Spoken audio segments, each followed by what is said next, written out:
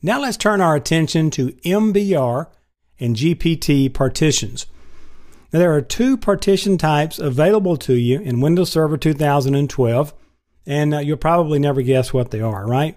Master Boot Record Partitions, or MBR, and Globally Unique Identifier Partition Table, or GPT.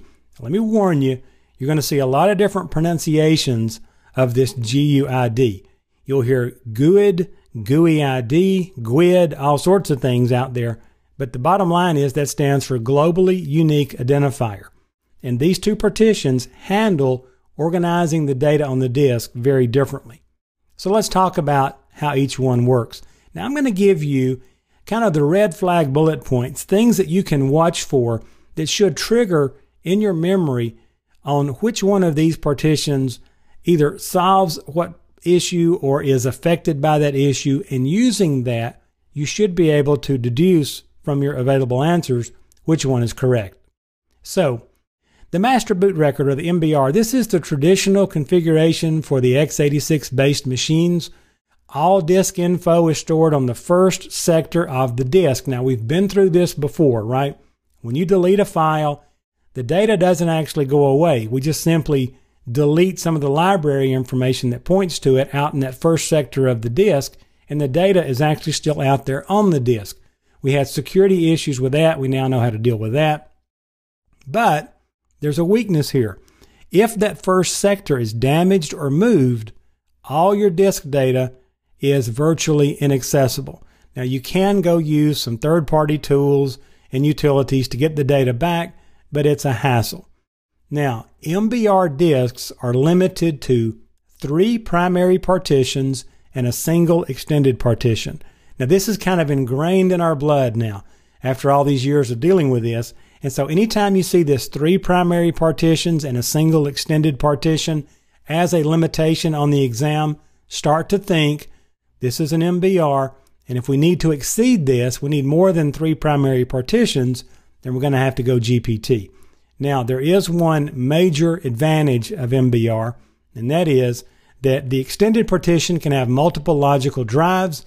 And then an even better advantage is that this is easily managed between multiple operating systems and third party tools simply because it's been around so long. It's kind of a standard out there and it's very easy to work cross platform, those sort of things with that. Now let's talk about the GPT or the globally unique identifier partition table. Now, this was actually introduced in Windows Server in uh, the Windows Server 2003 edition uh, with Service Pack 1. Now, this is recommended for disks that are larger than 2 terabytes. Burn that into your brain. If I've got a disk that's larger than 2 terabytes, I really would be better off using GPT. We won't talk about right now exactly why, but just Mark that down, okay? You can also use Itanium based computers as a flag. You want to use GPT on Itanium based computers or computers with disks larger than 2 terabytes. Now, GPT supports an unlimited number of primary partitions.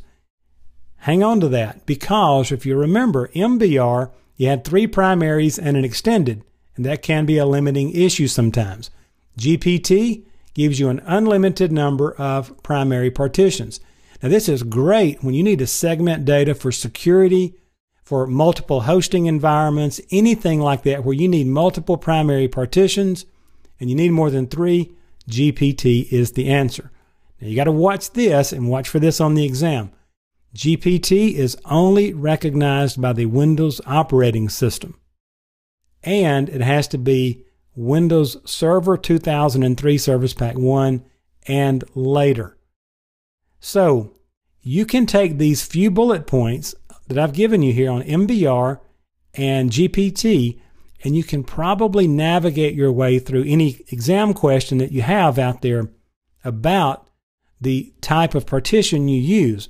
But if you're not really familiar with either one of these, and quite frankly, not many of us are because we don't do this very often, only when we set up a server or a disk. And if that's not our job, we do this once every few months, maybe.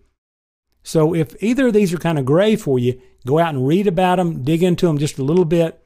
But uh, for what I've seen and what I've heard on the exam, this is probably enough information to get you past most of the questions that would have to do with partitions. So make sure that you've got it straight between MBR and GPT partitions.